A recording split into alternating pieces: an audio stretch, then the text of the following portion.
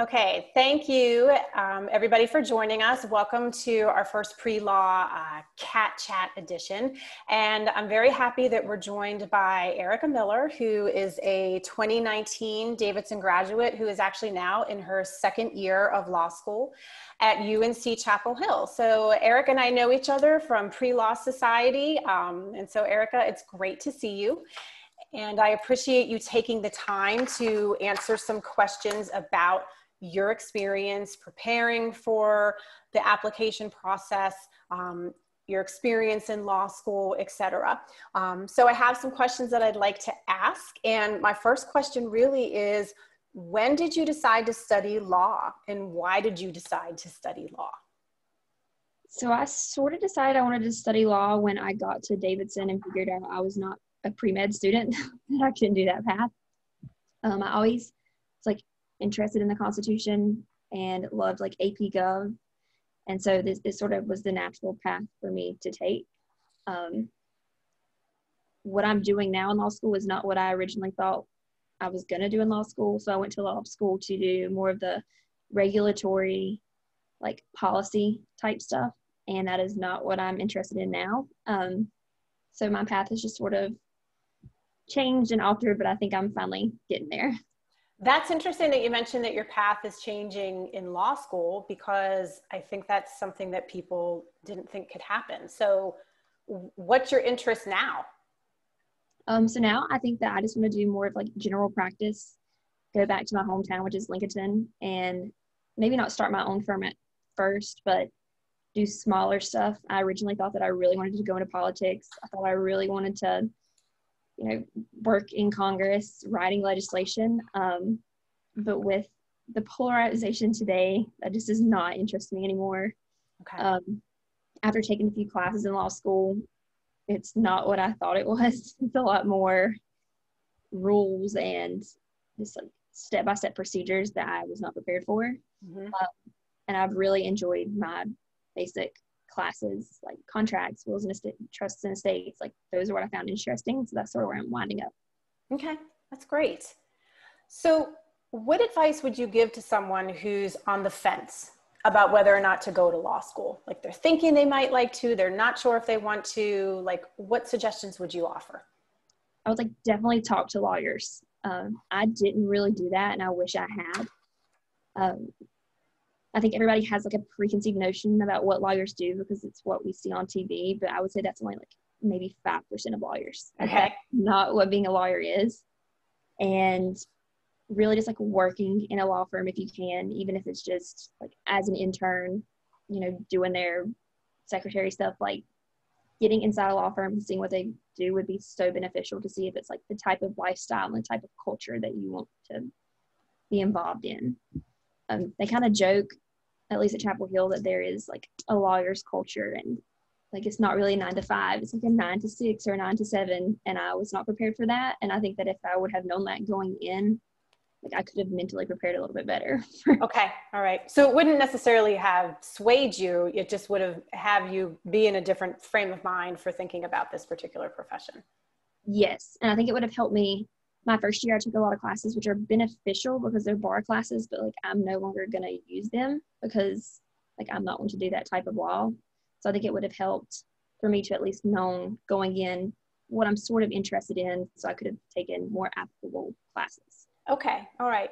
So that is something that you hear about a lot is that, you know, a lot of students will say, like, I'm not really sure what it is that I want to do as far as the type of law I want to practice.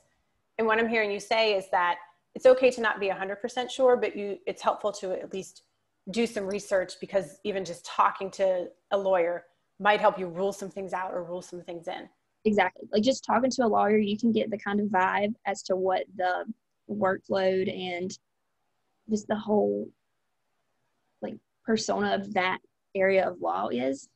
So if you would have talked to a corporate lawyer, like my first interview with a corporate lawyer, I could tell immediately like these are very like strict rule following people. They work all the time. And then my first time talking to a wills and estates lawyer, I could tell was much more relaxed, mm-hmm. sort of family oriented, and that was sort of more what I was looking for. Yeah. Okay. All right. Well, that's helpful information. When, like, where did you find people to talk to? I opened up my like I went to Google and found Lincolnton lawyers for my hometown and just like Mhm. called them up on the phone and just Okay. asked if they had time that they could talk to me. Yeah. And then um, I also did that at Davidson, but not quite as much. But there's like a lawyer on Main Street. His name is lost me right now, but like he's super open to talking to students. He t- chatted with me like even once I had left Davidson. Mhm. Super helpful in that regard.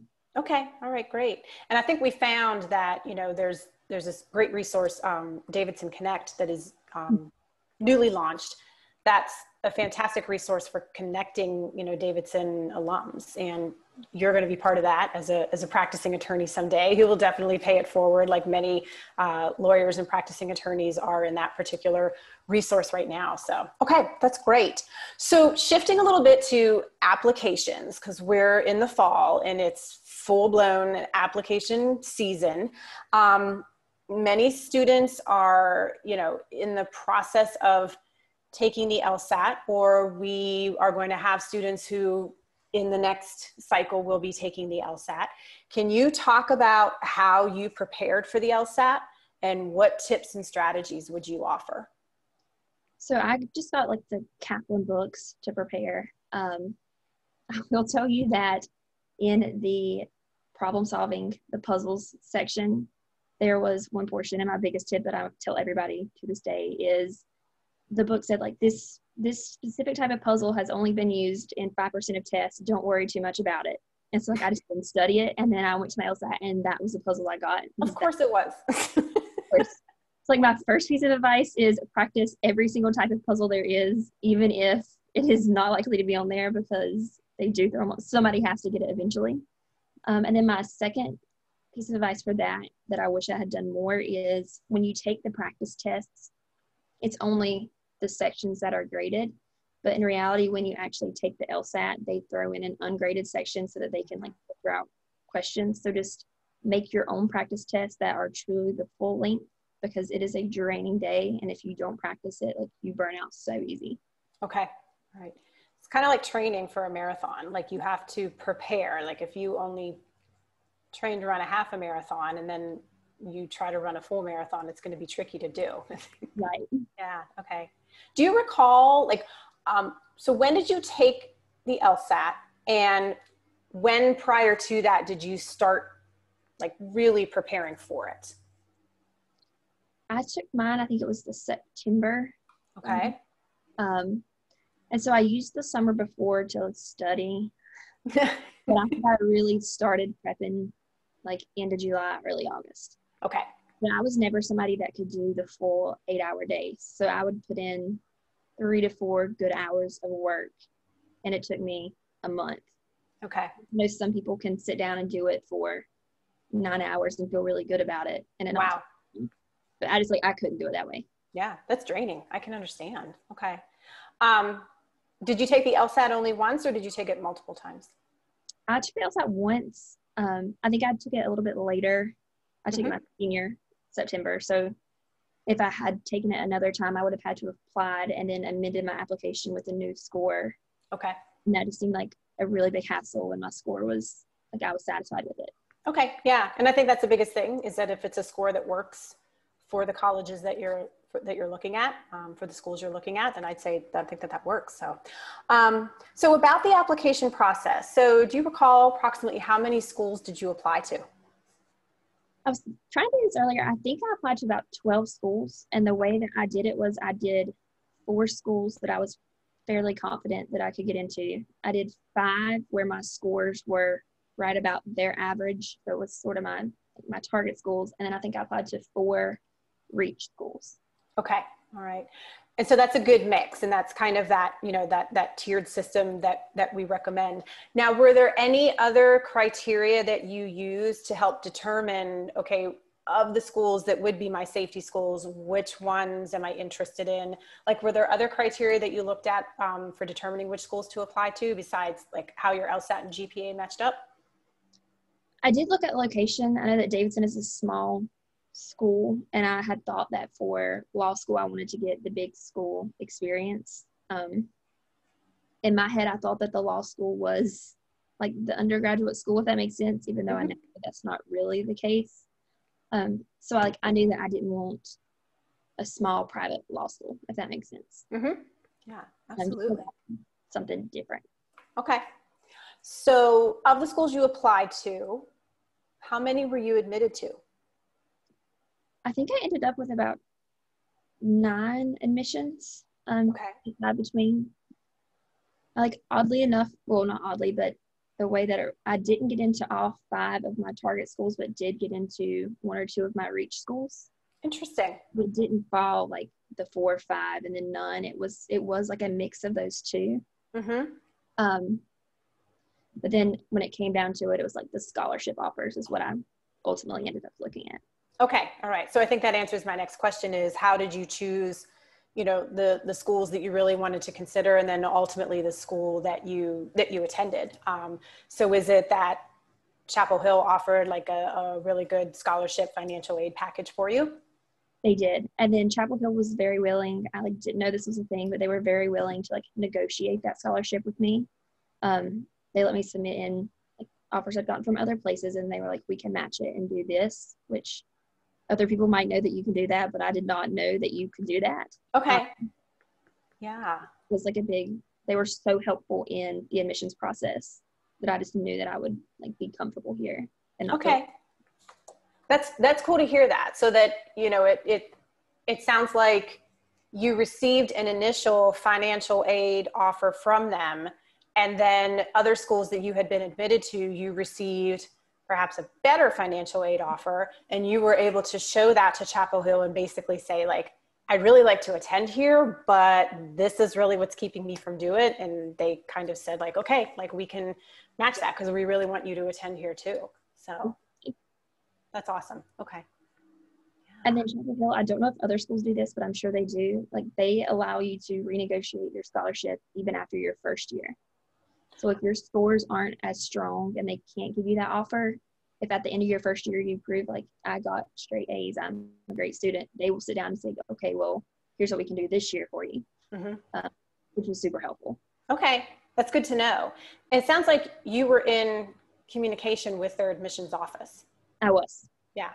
I think that's a big myth that that sometimes uh, applicants will have is that there's this fear of like, oh, I, I can't call the admissions office because what if I ask a question and, and are they going to put that mark on my application? You know, like Erica asked this question, why would she ask this? And it's three strikes, you're out on the questions. But you didn't find that, did you? I mean, you found that the admissions offices, like they want to help you make the best decision.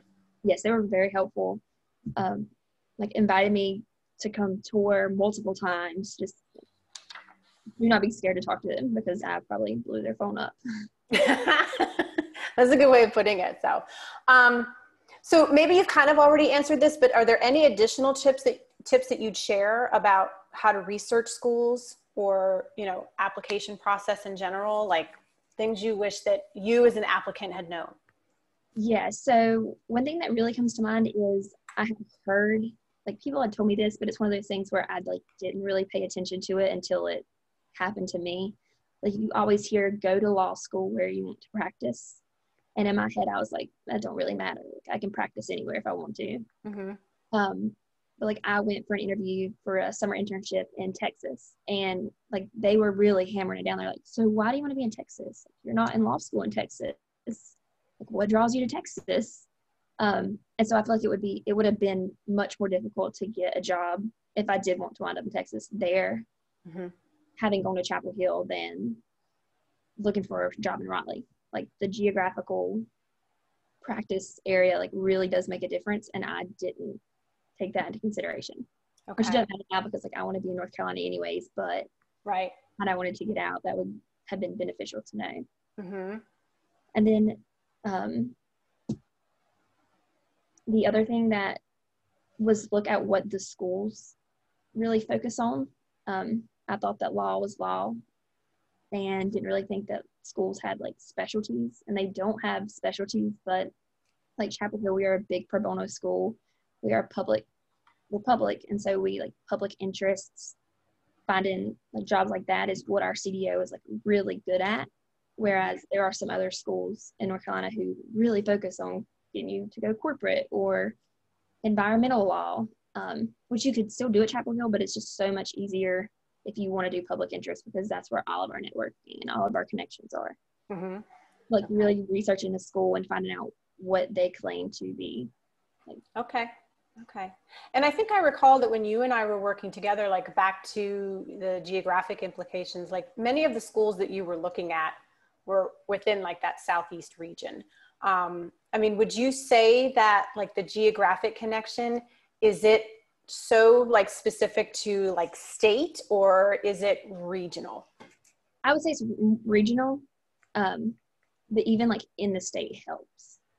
Okay. Yeah. What I've seen in interviews, like they love hiring people that they think are going to stay mm-hmm. in to the region. Okay. All right. I know, I don't know if um, the pandemic had any implications on this. Were you able to do some sort of summer experience um, in between your first and second year? I was, so I interned at the North Carolina Court of Appeals for the first half of my summer. And then at the second half of my summer, I was at the Federal District Court in Charlotte. So I did two judicial internships. Um, both were hybrid remote um, pandemic. Yeah. But I did. I stayed in North Carolina for both of mine. That's wonderful. And how did you find those particular experiences? I love them. Um, I actually found out that I got the second one, not because of, but in part of because his current, like his legal aid, his current um, chambers assistant was a Davidson grad. And so when they saw Davidson on the application, they're like, oh, we, we love Davidson. Yeah. Um, which was super helpful and cool. Yeah, that's awesome. Um, how did you learn about them? Like did you did you see them advertised somewhere? Did you go through the career service office at the law school? Like how did that process work? So the law school does this thing called OCIs um, i'm pretty sure every law school it's the way that they sort of hire. You submit for an interview and if you make if they want to interview you they come on campus and you interview with them instead of having to travel to mm-hmm. 15 different law firms. They're all there in one day and you just schedule your interviews. Great. okay. Mm-hmm. okay. All right so if we've got some first and second year, some freshmen and sophomore students who are who are watching this and they're considering law, like, what advice would you offer to them? Like I think you've you've already mentioned, you know, having career conversations with people in law. I mean, are there other tips? Like what other advice do you wish you could have received when you were a first or second year student at Davidson? Um, so I would really suggest finding what you're interested in. Like you can say law as generally yes, but just because you want to go to law school, you do not have to be a political science major. Like I was, and I don't know that it it didn't hurt me at all, but I don't know that it has benefited me if that makes sense. Mm-hmm. Um, so I'd really suggest like finding what other topics outside of political science interest you. And I know that Davidson is really good about having all over the board types of classes. And I really wish that I would have utilize that more and like I took one education class, but like I wish I would have taken more and found out like, hey, education is really cool. Maybe I want to do education law or mm. um, just anything like that. I mean, energy, taking some environmental science classes and decided if I wanted to do environmental law because now I'm in the situation where I took a lot of political science classes and that was great, but it didn't really help me find what niche of law that I wanted to go into because I came to law school and like didn't really know what I was interested in. Mm-hmm. I was mm-hmm. interested in law, but I didn't know where from there. Yeah. Okay. All right. Um, you decided to go straight to law school. So you didn't take a bridge year, um, a gap year, as others would call it. Why did you decide to do that? Did you ever think about doing a bridge year? Like, walk me through that. So I had told myself I did take the later LSAT, and I told myself that if I didn't get a certain score, I was gonna take the bridge year and try again. Um, just because I had a good GPA at Davidson, but not as good as like it was not comparable with the 4.0 that other people were probably sending in from other schools. Mm-hmm. Um, so I knew that my LSAT had to be strong. Uh, but when I got my score and it was in the range that I needed it to be. I just like didn't have anything else I would have done during my gap year. Okay. But looking back, I think that could have even been beneficial there for me to have done a gap year in a law office, like clerking for just even a local lawyer from mm-hmm. back home, just to get that kind of experience out of the way so that I wasn't having to do it while I'm in law school. Okay. Okay. How would you say that law school, like in your first year, is most different from your undergraduate experience? I think just the fact that I I met my professors maybe two times total all last year. And in law school? Wow. Whereas Davidson, I was in my professor's offices all the time. They knew me by name. Mm-hmm. They were asking me how my day was. And at law school, I mean, you have 60 kids in a class. It's the size is tripled, first of all. And then second of all, like you don't turn in weekly assignments. So law school was your entire grade is your final exam, which I was not prepared for. I did not know that until I got here. Okay. But it, it's your so you have really no way of your professors knowing how you're doing in the class or where you're struggling along the way. Like you really have to figure that out yourself. Mm-hmm. And I think that was the biggest difference for me from Davidson. Okay. So do they offer like office hours and you can go and see them and, you know, but it's just kind of, it's not as typically done as it is maybe at Davidson or? They what? do offer it and it's like highly encouraged for me at Davidson, I would go to office hours after I got a paper back or after I got a test back, and it sort of forced me to go talk it through. Yeah. Where, because I'm not somebody that will seek out a professor to just talk to them. Mm-hmm. How I am. Right. So it, like those markers along the way, is what forced. I don't say forced, but created that connection with my professors here. Whereas in law school, I had nothing telling me like you don't understand this. You need to go to office hours. Um, which was the biggest one like i had to learn that i had to learn to like assess myself and figure out where i don't understand stuff mm-hmm okay all right um looks like you're living in an apartment you're off campus now is that pretty typical for for law students does does unc chapel hill have on campus housing for law students or does everybody live off campus i think there's a few graduate housing dorms but I would say pretty much everybody lives off campus. Okay. My only like four minutes, so it's not yeah not close to campus. Okay, all right. Um, what types of, if any, activities, clubs, organizations, or whatever did you get involved in in your first year? Are there opportunities to do that? Yes. So I I took the approach that they tell you not to do at Davidson at your first year. for a bunch of clubs and because I really didn't know what I wanted to do. Like when I got here, I found out what I wanted to do was not actually what it was, and I was just kind of lost. So I signed up for like the Education Law Society, the Transactional Law Society, um, and that was actually very helpful because really our clubs are just listservs, and so you get invitations to speakers that are coming, and you know the latest news on what's happening in that area of law.